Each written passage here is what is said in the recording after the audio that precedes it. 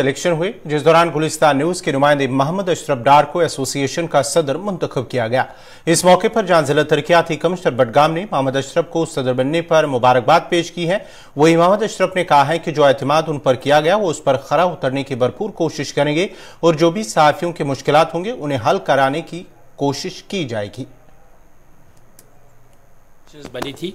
और आ, कुछ महीने पहले हमने जो है एक एसोसिएशन बनाई थी। वो हमने टेम्परी बेस पर बनाई थी क्योंकि हमने हंगामी सूरत में उस टाइम ये कहा था कि फ़िलहाल हम प्रेसिडेंट वाइस प्रेसिडेंट या ट्रेजर या जनरल सेक्रेटरी के अहदे पे हमने चार पोस्ट उसमें भी मैं रह चुका हूँ।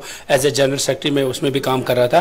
फ़िलहाल हम ये कह सकते हैं कि पहला सबसे बड़ा जो हमारा मसला था वो था कि एकोमोडेशन जो बड़गाम वर्किंग जनरल वो कहीं पर बैठने की नहीं थी। और जब से डिप्टी कमिश्नर बड़गाम यहाँ आए उसने पहले दिन से ही ये कहा कि आपको बैठने की जगह नहीं है। पहले उसने वो उसमें इंश्योरेंस दी कि मैं वो कर दूँगा वो उसने वो किया भी। उसके लिए हम उसका बहुत बहुत शुक्रगुजार देखिए हमारे जो साफ़ी बरदरी है मैं उनसे यही कहूँगा कि एक तो हम पहले अपना अपनी इज़्ज़त की सोचेंगे क्योंकि जब हमारी अपनी इज़्ज़त है तब हमें लोग भी इज़्ज़त करेंगे।